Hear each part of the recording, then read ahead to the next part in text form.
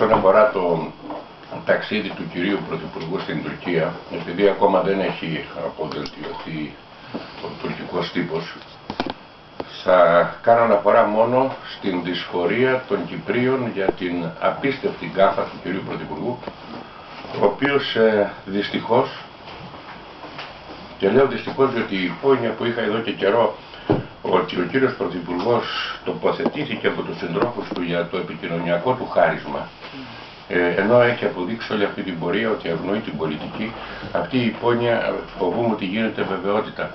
Και λέω ότι φοβούμε διότι για πολλούς και διαφόρους λόγους που αντιλαμβάνεστε αυτή η κυβέρνηση τόσο οι εσωτερικοί παράγοντες όσο και οι εξωτερικοί θέλουν να διατηρηθεί ώσπου να ψηφιστούν όλα αυτά τα οποία έχει συμφωνήσει. Και δεν ξέρω με αυτές τις κάρτες που γίνονται τι προβλήματα θα μείνουν στο τέλος. Οι Κύπροι δεν μπορούσαν και δεν μπορούν να αντιληφθούν για ποιο λόγο ο κύριος Πρωθυπουργός απεδείχθη περισσότερο φιλικός προς τον κύριο Νταβούτογλου από όλους τους προϋπάρξαντες πρωθυπουργούς της Ελλάδος, διαβεβαιώνοντάς τον ότι θα είναι αρρωγός στο άνοιγμα των ε, κεφαλαίων για την ένταξη της Τουρκίας στην Ευρώπη.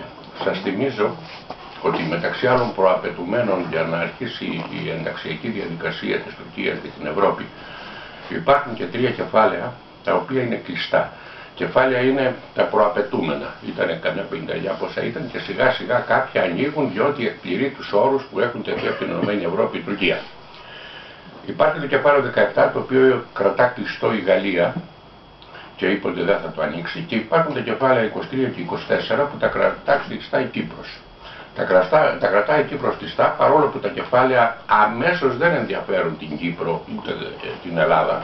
Μιλούν για την κάθαρση στη δικαιοσύνη, ελευθερία τύπου, πολιτιστικά θέματα κτλ. τα οποία θα πρέπει ε, η Τουρκία να τα προσαρμόσει προς ε, τις ευρωπαϊκές συνθήκες και δεν το κάνει. Ήδη σήμερα κάνω παρένθεση, έχει αναγγελθεί ότι ο δημοσιογράφος αντιμετωπίζει ποινή 32 ετών διότι προσέβαλε τον κύριο Αντογκάν. Όταν λέμε προσέβαλε, έκανε μια κριτική στον κύριο Αντογκάν. Έχει σκληρύνει πολύ η δικτατορία στην Τουρκία.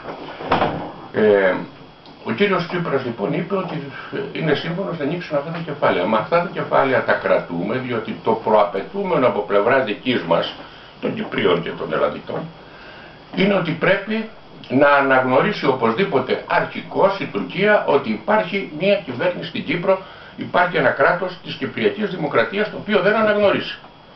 Γι' αυτό το λόγο ούτε τα κυπριακά ε, αεροπλάνα, τα πλοία μπορούν να πάνε στα λιμάνια και στα αεροδρόμια της ε, Τουρκίας διότι δεν αναγνωρίζει ότι υπάρχει Κύπρος. Αντιλαμβάνεστε λοιπόν ότι όταν λέμε εμείς ότι θα είμαστε αρρωγοί στο άνοιγμα αυτών των κεφαλαίων, την στον αέρα όλη την πολιτική την οποία κάναμε τόσο καιρό.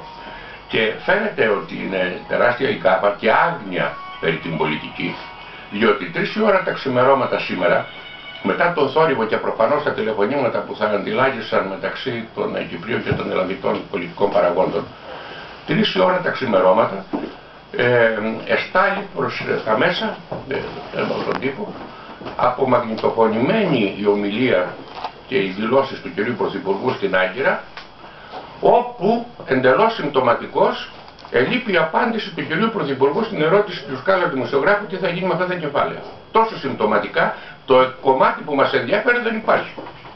Η δε κυρία Γεροβασίλη όταν ε, ρωτήθηκε βεβαίως όπως ένα κάτω στην Αθήνα είπε ότι πρόκειται περί τεχνικού μεταφραστικού σφάλματος. Έτσι απόλυτη συνέντευξη και τις δηλώσεις εκείνο που θέλαμε να δούμε τι ακριβώς είπε διότι μας είπαν ότι δεν τα είπε αλλιώς δεν τα γνωστά που λένε πάντοτε ας πούμε δεν απεδόντησαν σωστά ενώ ακούσαμε τι είπε. Εκείνο ακριβώς το κομμάτι λείπει αντιλαμβάνεστε δηλαδή ε, τι προβλήματα δημιουργούνται όταν κάποιος ε, σηκώνει στις πλάτες του τόσο δυνατά βάρη τα οποία δεν μπορεί να τα αντέξει. Δεν ξέρω που θα πάει αυτή η ιστορία. Γι' αυτό όμως το θέμα θα μιλήσουμε την άλλη πέμπτη για να δούμε ακριβώς τι συνέβη στην Τουρκία, όχι αυτά τα αρχίσιμα τα οποία δηλώθηκαν. Να αναφέρω και κάτι το οποίο κάτι μπορεί να φανεί λεπτομέρεια, αλλά σε εμάς που ασχολούμαστε με την επικοινωνία και την προπαγάνδα είναι πολύ σημαντικό. Αν παρακολουθήσατε όλη την είσοδο του κυρίου Πρωθυπουργού με τον ομόλογο του Πρωθυπουργού της Τουρκίας, τον κύριο Νταβούτογλου, στο στάδιο, κρατούσαν ο καθένα του από δύο κασκόλ. Ένα με τα χρώματα τη ελληνική σημαία και ένα με τα χρώματα τη τουρκική. Και κρατούσαν ο καθένα του από δύο κασκόλ, ένα με τα χρώματα τη ελληνική σημαία και ένα με τα χρώματα τη τουρκική. Και κρατούσαν ο καθένα του από δύο κασκόλ, ένα με τα χρώματα τη ελληνική σημαία και ένα με τα χρώματα τη τουρκική. Και κρατούσαν ο καθένας τους από δύο κασκόλ, ένα με τα χρώματα της ελληνικής σημαίας και ένα με τα χρώματα της τουρκικής. Κάθισαν δίπλα-δίπλα, ο κύριος ε, Τσίπρας έβαλε έτσι τα κασκόλ ώστε από τη μια πλευρά ήταν το κόκκινο της τουρκικής σημαίας, από την άλλη φορά ήταν το μπλε της ελληνικής σημαίας. Ο κύριος Νταβούτογλου τα έβαλε έτσι ώστε η τουρκική σημαία κάλυψε την ελληνική και δεν φαίνεται. Δείτε τις φωτογραφίες. Ε, κάθοντο εκεί επί 90 λεπτά που διαρκεί ο αγώνας ή 15 λεπτά το ημικρόνιο συν άλλη μισή ώρα πάνε έλα δεν το πρόσεξε ο κύριος Τσίπρας ώστε το λιγότερο να του το ανταποδώσει. Το λιγότερο. Να πάρει και αυτός στην ελληνική σημαία και να τη βάλει πάνω από την τουρκική. Το μήνυμα που έχει περάσει προς τα έξω με τις εικόνες αυτές, θέλω να τις δείτε στο διαδίκτυο, με τις εικόνες αυτές είναι ότι οι μεν Έλληνες αναγνωρίζουμε την, ε, την Τουρκία έχοντας το κασκόλ της από τη μια πλευρά, οι δε Τούρκοι μας γράφουν στα παλιά τους υποδήματα διότι έχουν μόνο ο Πρωθυπουργός τους και μόνο την τουρκική σου στο λαιμό. Δεν είναι λεπτομέρεια, είναι ραγιαδισμός. Είναι ραγιαδισμός και δεν το κάνουμε μόνο τώρα. Όλοι τους, ιδιαίτερα οι Υπουργοί Εξωτερικών, όταν συναντούν Τούρκο, είναι σαν τα Ιουσουφάκια που συναντούσαν τον Αγά. Να μην θυμηθώ εκείνον τον απίστευτο τον Δρούτσα, ο οποίος έτρεχαν τα σάλια του και τα γέλια του όταν του έδωσε το χέρι ο Νταβούτογλου. Ο οποίος Νταβούτογλου είναι ένα ανθρωπάκι, ένα ανδρίκεδο, τίποτα. Δεν μας άκουγαν όταν τότε οι περισπούδαστοι εδώ αναλυτές συνάδελφοι τον παρουσίαζαν ως το συγγραφέα το μεγάλο του στρατηγικού βάθους και αν έγινε τις πομφόλιγες τις οποίες ε, γράφει μέσα. Είμαι ενοχλημένος ξέρετε και είμαι ενοχλημένος διότι δεν διορθώνονται αυτά τα πράγματα, επαναλαμβάνονται και μάλιστα επαναλαμβάνονται σε χειρότερο βαθμό. Το κύριο θέμα, το οποίο μας αποσχολεί και θα γίνει πάρα πολύ οξύ, διότι πριν από λίγες ώρες οι Σκοπιανοί έκλεισαν τα σύνορα επάνω στην Ιδωμένη, με αποτέλεσμα να παραμείνουν περίπου 5.000 αυτή τη στιγμή και άλλους πόσους στην Αθήνα που ετοιμάζονται να πάνε προς τα εκεί να παραμείνουν στην Ιδωμένη, άρχισαν να κόβουν δέντρα ό,τι βρήκαν εκεί, ό,τι ξύλα βρίσκουν να αισθανθούν. Λογικό είναι. Άνθρωποι θα, θα πρέπει να αισθανθούν και αυτοί. Καμία μέρημνα. Και έκλεισαν τα σύνορα οι Σκοπιανοί, διότι έκλεισαν τα σύνορα οι Σέρβοι. Και έκλεισαν τα σύνορα οι Σέρβοι, διότι τα έκλεισαν παραπάνω. Με αποτέλεσμα λοιπόν να έχουν εγκλωβιστεί αυτή την στιγμή, χωρίς να γνωρίζουμε τι θα γίνει, σε κάθε χώρα ένας μικρός αριθμός λαθρομεταναστών και προσφύγων και ο τεράστιος αριθμός να μένει στην Ελλάδα. Την προηγούμενη εβδομάδα ήμουν στις Βρυξέλλες. Και αντιλαμβάνεστε ότι εκεί στο Ευρωκοινοβούλιο με τους παράγοντες, εκείνο που απασχολούσε περισσότερο να μάθω είναι τι θα γίνει με αυτή την ιστορία.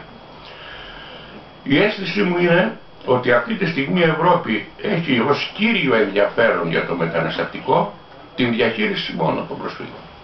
Τίποτα άλλο.